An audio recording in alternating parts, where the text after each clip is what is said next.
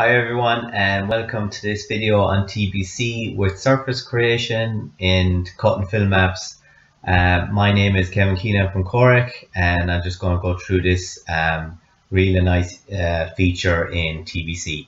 So first off I have um, TBC open so if you're wondering I'm using the latest version, uh, version 5.32 so if you only see extra features you have but the same uh, process is for all uh, TBC versions, okay? Uh, so here we have um, in. So this is just their standard uh, CSV file. It's just dragged and dropped in. It was called OGL. I didn't survey this, so it's literally new to me. So I'm going to start uh, designing it up. So first off, I usually always have my uh, Project Explorer down here. So these are always in the quick access toolbar here. So I always have it displayed at the bottom, but it default displays at the top. So it's uh, View Filter Manager is on, your Project Explorer, Selection Explorer, and I also have properties open and I've my docked my properties here in this uh, tab as well. But if you do open anything, you can actually drag over a tab on the top of the bar and it'll actually add it to the menu. I also have my command line open as well. So that can be open and closed here as well. So I can tick and open and close that. Okay. So I might as well leave that open for now as well. So here we go. We're going to start with um, going into my view filter manager and I'm just going to look at the codes. So in here, there's uh, layers, points. So it's on points and you can see here under my point name, I have IDs. So that's the name, the numbers. So I'll just see is there a code. So they're all spot levels. So there was no outer boundary done, but what I'll do is I just hit Control A, go up to my surface tab, click create surface and I'm going to call this OGL. In the classification I'm going to call it original and color I'm going to pick green. Uh, this is a nice feature, it gives you the time and the date, default to your PC, but you can select it for the time and date of done of the survey. If you hit apply, uh, you'll be doing multiple surfaces at a time. Uh, if you press OK, it'll actually create the surface and take away the command.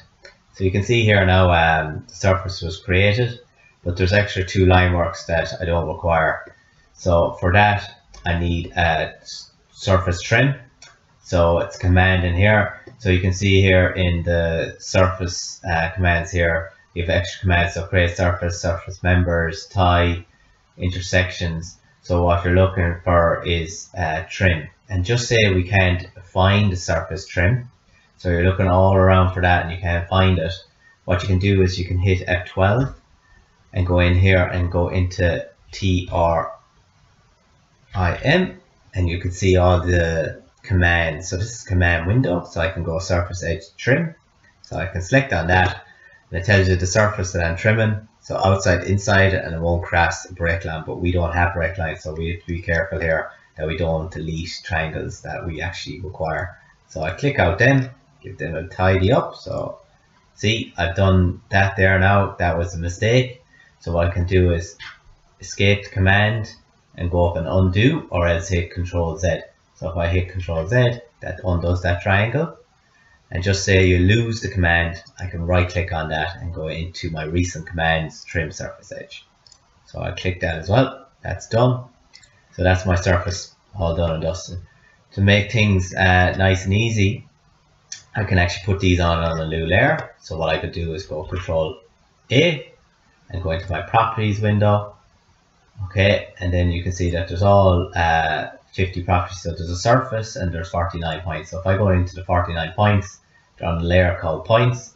So I click that hit spacebar and I'm going to call this OGL give that a color green and press oh sorry just go in there leave that back as white. So OGL green and press close.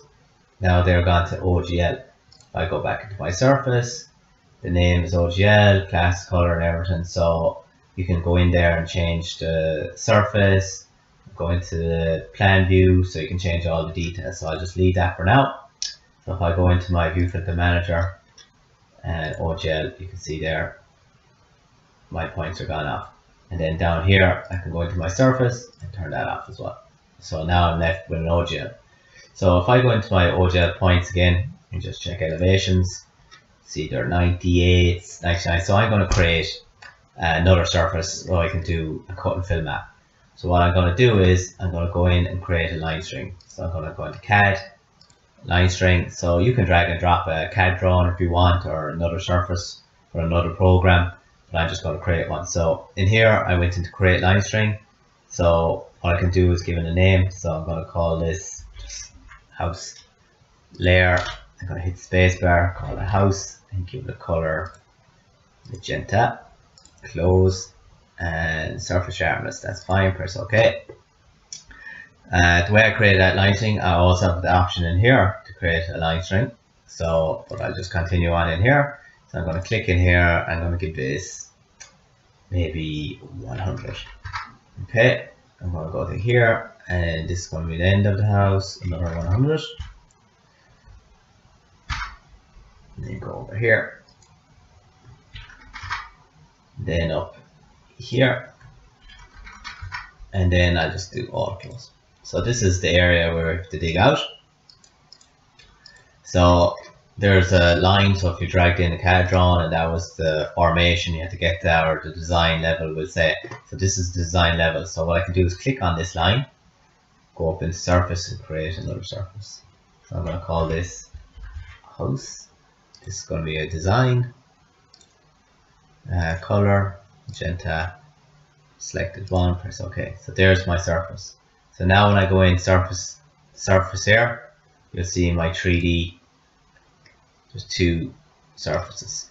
Okay, so I can right click on that. No, show vertical tab. Real nice feature there is if you go in surface surface slicer view, you can actually slick select down through the design. So you see that's the house and that's the OGL. So I can go section through it as well. So I close that. So I'm saying I'm happy with that. That's my house and that's my surface and I want to run a report. I go into earthwork report. From there to there I pick surface. Initial is my OGL and my final is my house. If I only want to select a boundary around that, I can select all I want to know is the cut and fill around this area. If you want everything, you can select an outer area or select lines, whatever you want. Press OK and then it defaults here uh, into the house and it tells me there that uh, material placed is uh, 6990.5 cubic meters okay? So that's what I need to get to get up to the design okay? So once that's done I can go now into my cut and fill. So in here in the same command in surfaces I go to cut and fill map and here I'm going to call it SCF cut fill so my initial is my OGL, my final is my house, and in here I can put it on its own layer. So I'm going to put it in here called HSCCF. Close that. Uh, the text style uh, standard, but sometimes I go in there and just check the size. So usually the size is pretty big. You can create a new font, a new style by just clicking new. But in there, I'll just maybe pick two. Press OK space uh, gridding is uh, how much you want a tick or a line to appear for the cut and fill. So I'll say 20 meters. I'm going to use the ticks or the lines and based on the units I will do one place decimal and I'll label the surface elevations and press OK. You'll see then it'll go blue that's indicating that the, it is a filled material. So if it's red it'd be a cut. So if I turn off all my surfaces and you leave on um, the cut and fill it'll be blue just blue surface on its own. So if I zoom in here and turn off my surface you see that I've a elevation here. So just to show you that was one place decimal so it's 98.224 so the point at this section here so if I just select that on this X is uh, 98.2 and it's um, getting up to a design of 100 it has um, 1.8 cubes of fill to go in there. So it shows you all them. If anything if I wanted to change that I can go into the properties by just selecting there. If you don't have your properties down here you can right click and go into properties. So what you do is select on there. So I say okay I actually wanted a little bit more. I want the shading by elevation or change the plan view. So I can go into wireframe lines, any of that, so I can change what I want to see. So in here, you can uh, go into the surface, rebuild the surface, display transparency. But if you wanted to change any details in here, you can go into projects, uh, explorer, go into cut and fill map, pick your cut and fill in here. And then once you select that, you can go into your properties here and it gives you the properties again of your cut and fill map. So if you go into your settings, you can uh, go into your surfaces there as well and edit your surfaces or you can edit the color mapping.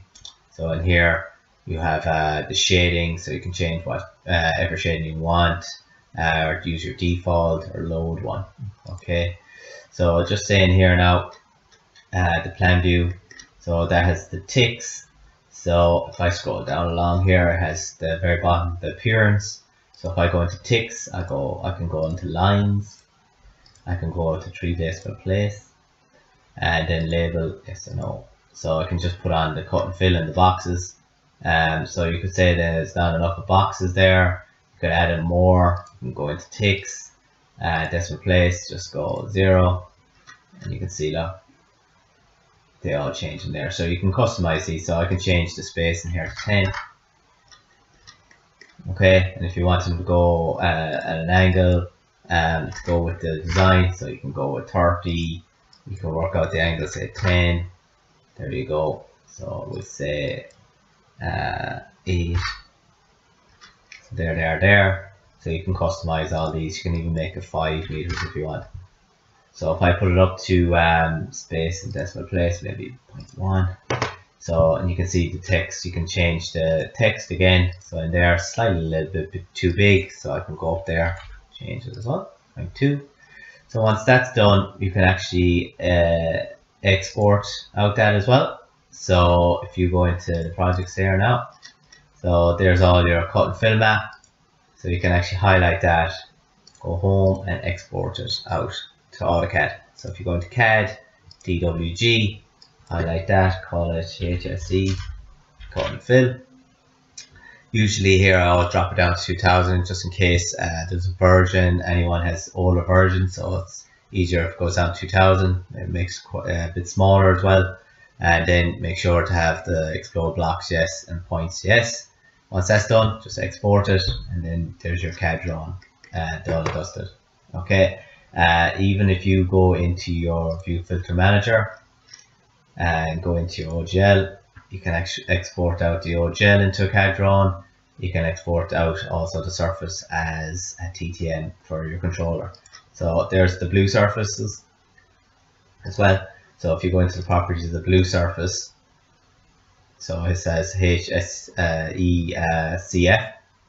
So in here, you can change all the settings in there also of the cut and fill map so just a nice real uh, actually handy feature is um, in the plan view you can turn off the wireframe yes or no. So if I deselect it see the wireframe is still there to show the triangulation. So if I select it again go in wireframe and go no. Uh, shading I can go surface color like I picked earlier gray I can go by material if I had a material. So if I go by elevation I can go in here and change all the settings. So there's um, a surface to surface in TBC, um, uh, earthwork report with a surface to surface and a quick cut and fill map as well in all done TBC. Okay, hope you enjoyed this uh, video. Uh, talk to you again soon. Thanks. Bye.